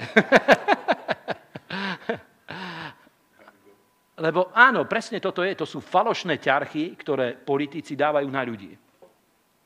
Ťarcha s ukrajinskou vojnou. Áno, je to veľká neprávosť. Ale ja som počul pastorov o tom tak hovorili, tak o tom hovorili, ako keby jemu išli vyvražiť rodinu. Ja vám poviem, to sú hlúposti. To sú hlúposti. My aj tak nevieme, čo sa tam deje. Modlíme sa za to, tým nehovorím, že to treba ignorovať, ale čo sa deje, my nevieme. Pretože to sú geopolitické hry, to je výmena politických síl a tak ďalej vo svete. Toto není, že dobrý Ukrajin, dobrých Ukrajincov napadli zlí Rusi. Ani, že dobrí Rusi išli poriadok, urobiť poriadok s, s dobrými Ukrajincami. Ani jedno, ani druhé není pravda. Čo? To sa dovedieme až, až z histórie, ak budú poctiví historici. Ale to sú iné problémy. Teraz, koľko ľudí toto zobralo do svojich domovov? Koľko ľudí toto zobralo do... Neviem, či to chápete. Koľko ľudí toto zobralo do svojich domovov? Koľkým ľuďom toto zaťažilo život? Veď koľko ľudí bolo takých, aj vy poznáte, a poznám aj medzi kresťanmi takých, ktorí už rozmýšľali, že ten dom, kde predám, ten byt, ako predám, auta, ako sa zbavím a kde to presuniem, aby som išiel inde žiť, lebo tu za bránami, vedľa v susednej krajine je vojna, už tak o tom hovoril, ako keby už horel susedov byt. A trápil sa niekoľko týždňov. A keď toto skončilo, diabol zase niečo iné vymyslí. Chápte, toto, proste, toto sú tie problémy. Toto sú tie problémy, ktoré svet má. A musíš ich vnímať iba do takej miery, aby si si udržal intimný odstup. Tvoja komfortná zóna, aby nebola narušená. Tvoja komfortná zóna, aby nebola narušená. Amen. Teda porazme tieto síly a zhodíme ich zo seba. Urob silné rozhodnutie, že sa postavíš na Božie slovo.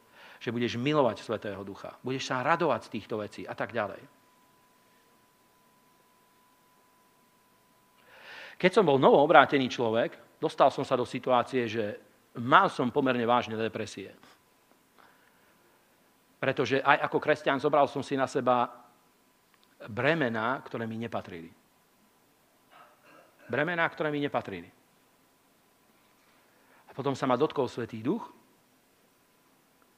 a zmenil sa môj prístup k určitým veciam pochopil som, že to nebol skutočný život. To bol diabol, ktorý ma klamal v určitej oblasti, pretože taký obraz mi vytvoril v určitých veciach, ktorý bol úplne mimo. A vtedy som si povedal, že už nikdy nedovolím, aby toto sa so mnou stalo. Nepoviem, že 100% sa mi to podarilo, ale musím povedať, že v mnohých prípadoch proste zhodil som tieto veci zo seba. V mnohých prípadoch som to zhodil zo seba, ale som si nikdy tomuto nedovolím, aby to znovu na mňa prišlo. Nikdy tomuto nedovolím, aby falošné bremená diabol položil na moju dušu. Ani ty tomu nedovol. Zhoď tieto starosti prítomného veku a rozhodni sa, že ideme veriť pánovi.